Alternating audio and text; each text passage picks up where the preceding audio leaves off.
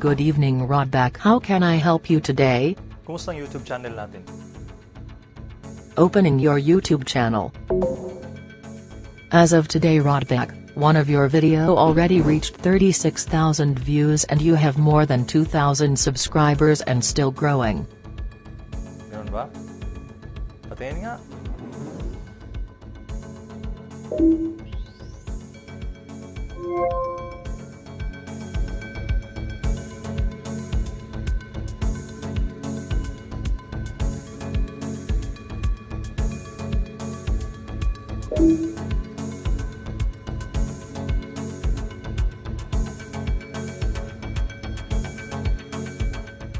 Sorry to interrupt Rodback but it's time to shoot your trick shot video. Ay, oo nga pala. Thank you.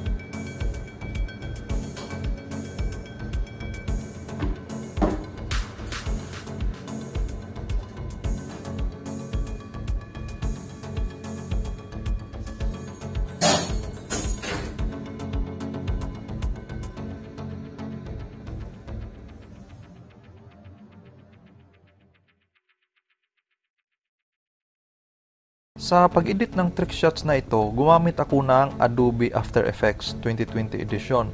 Una, gumawa muna ako ng komposisyon na 1920 by 1080 ang size. Yan yung size nung HD video. Then, inimport ko ang aking video. Once na import na, idadag lang natin dito sa layer window kailangan kong i-split yung video sa tatlo. Yung una ay nung hinagis ko ang sombrero at ang susi. At ang pangalawa, yung pagsushoot ko ng sombrero. At ang pangatlo ay ang paglagay ko ng susi sa hook. Remember, kahit tatlong shots ito pero sa pag-shoot ng video, tuloy-tuloy lang ang recording para hindi magalaw ang camera at hindi ako magka-problema sa pag-edit kasi kapag nagalaw in between sa take, medyo mahirapan ng i-align. Sa pag-split naman, click ko lang ang edit menu, then split layer. At kung tingnan nyo, meron na akong dalawang layer. Ito yung part na hinagis ko ang sombrero at ang susi. I-rename ko lang ito para hindi ako malilito. I-rename ko lang ito as main action. So ayan, i-play ko lang one time. Kita nyo sa pagtapon ko ng susi, kahit hindi nag-shoot, pero yung mata ko is nakafocus pa rin sa hook na kunwari nakatingin sa susi. Importante yun para medyo convincing. Kasi nung unang attempt ko, is sumusunod yung mata ko sa nalaglag na susi. Which is hindi masyadong convincing tingnan. Okay, sunod kong split na clip ay yung pag-shoot ko ng sombrero. Kung nagtaka kayo bakit may suot akong green, sinot ko lang yan just in case kailangan kong i-remove ng chroma key yung kamay ko pero it turns out hindi na kailangan. So, ganun ulit sa pag-split, punta sa edit menu, then split layer. Pwede rin naman gawin sa keyboard shortcut ang pag-split. Press lang ng sabay ang Control key, Shift key at letter D. Ngayon, ipwesto ko ito sa taas ng main action layer at i-rename ko ito as cap landing. Then, ang panghuling clip ay itrim ko lang ang hindi kailangan. Then, ilagay ko rin ito sa taas ng cap landing layer at i-rename ko ito as key landing. At i-adjust ko lang malapit doon sa tamang timing niya. Okay, dahil kumpleto na ang tatlong clip na kailangan ko, ang sunod naman ay ang pagdugtong ko sa mga shots. So, i-hide ko muna itong dalawang layer para makita ko sa main action layer kung saan ang the best na ipasok ang cap landing layer. Zoom ko lang para makita kong maigi. Dito, frame by frame na ang kailangan para makuha ang pinaka the best na timing. Ilagay ko lang sa half resolution ang playback para medyo malinaw. Hindi ko sineset sa full resolution kasi medyo bumabagal ang laptop ko. Sineset ko lang sa full kung talagang kailangan. Sa tingin ko ito na yung the best na frame at pwede ko na ipasok ang cap landing layer. I-unhide ko lang, adjust ng konti hanggang makuha ang pinaka the best na timing.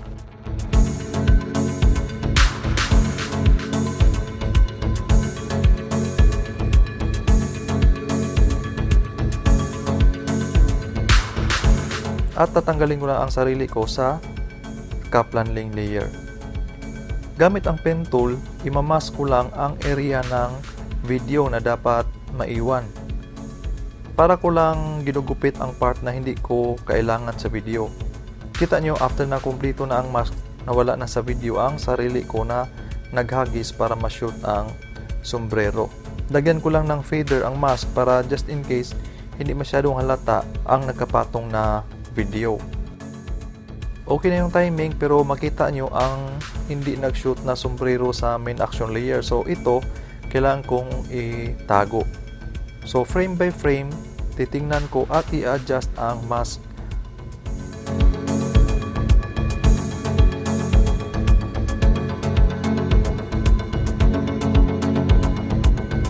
Para ma-adjust ang mask frame by frame, maglalagay ako ng keyframe. Pindutin ko lang itong parang stopwatch sa mask path. I-forward ko siya frame by frame at i-adjust ang mask kung kailangan.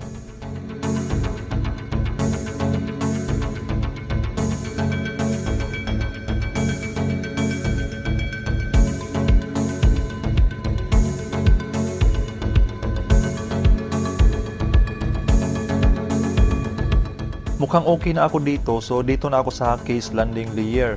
Dito sa layer na ito, gagamit ako ng mask tracker. Ipakita ko sa inyo mamaya. Ipisto ko lang ang layer sa tamang timing.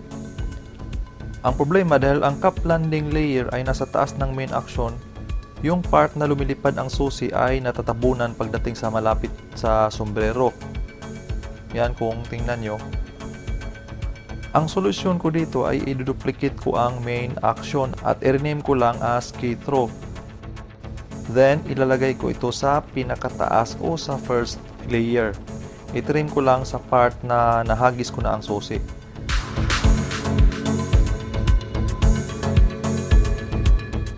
Then, gamit ulit ng pen tool para imamask ko ang susi. Para ang makita sa first layer ay ang susi lang na lumilipad Then, lagyan ko ng kunting feather ang mask. Ang feather ay para hindi masyadong sharp ang edge ng mask area at mag-blend ito sa ibang layer para hindi masyadong halata na nakapatong lang ang layer na ito. Kanina sa cup landing layer, nag-keyframe lang ako sa mask path pero dito, track mask ang ginamit ko kasi automatic na rin itong mag-keyframe.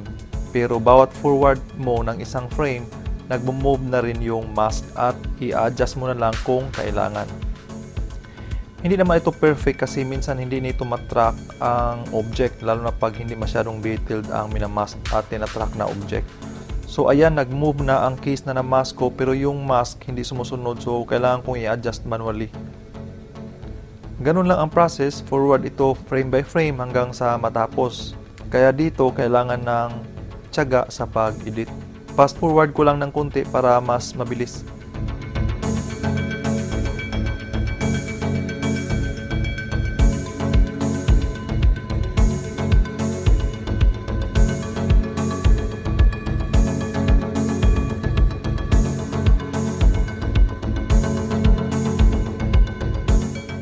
Ngayon, dito malapit sa hook, ipwisto ko na ang case landing layer. Dito, madali lang kasi ganun din yung gagawin ko gamit ang pen tool. Imamask ko lang ang part sa may susi.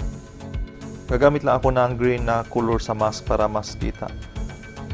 Hindi lang susi ang minamask ko dito, kasama ng wall kasi para matabunan ang susi na hindi nag-shoot. Kunting adjustment lang sa mask at mukhang okay na ito.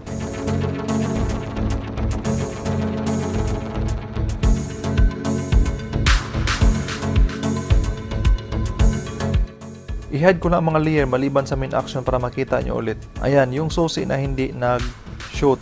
At kapag i-unhide ko ang K-landing layer, hindi nyo na ito makikita. Ngayon, ipakita ko sa inyo isa-isa ang itsura ng bawat layer. Ito yung main action layer.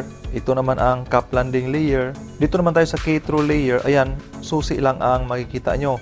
Then, sa case landing layer, ipakita ko rin sa inyo ang hitsura. Tingnan nyo kapag i-move ko ang isang mask point, makikita nyo yung paghila ko ng susi. Madali lang gawin ang tricks na ito. Tamang timing lang ng cut ng video at masking at meron na kayong perfect trick shots. Isang effect na lang ang kailangan ko dito ang wiggle para kunwari hindi steady ang camera at may humahawak. I-trim ko lang muna ang composition to work area kasi pag start kanina mahaba ang composition settings ko. Ngayon, hindi ko na kailangan yung sobra sa dulo so pwede ko nang i-trim. Before ako maglagay ng wiggle effect, need ko muna i-precompose. Select all ko lang then precompose para maging isang video layer na lang ito. Then, lakihan ko lang ang scale ng konti para may lugar para sa wiggle effect. Sa wiggle effect, punta lang ako dito sa effects and presets Then, type ko ang wiggle at select ko itong wiggle position. Wiggle speed, set ko lang ng 0.5 at wiggle amount, sa tingin ko okay na yung 10. Ngayon, kapag i-play ko na, manotice nyo na hindi na steady ang kuha ng video.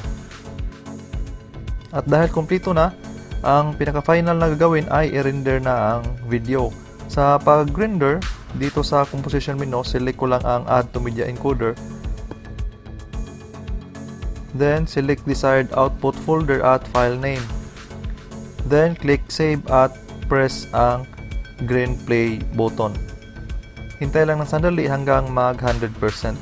At pag nagustuhan nyo yung video na ito, please like at baka gusto nyo ring mag-subscribe sa channel ko, click nyo lang ang subscribe button. At pag nag-subscribe kayo, then turn on nyo na rin yung notification bell para ma-notify kayo sa mga video uploads ko. So, until next time, thank you very much.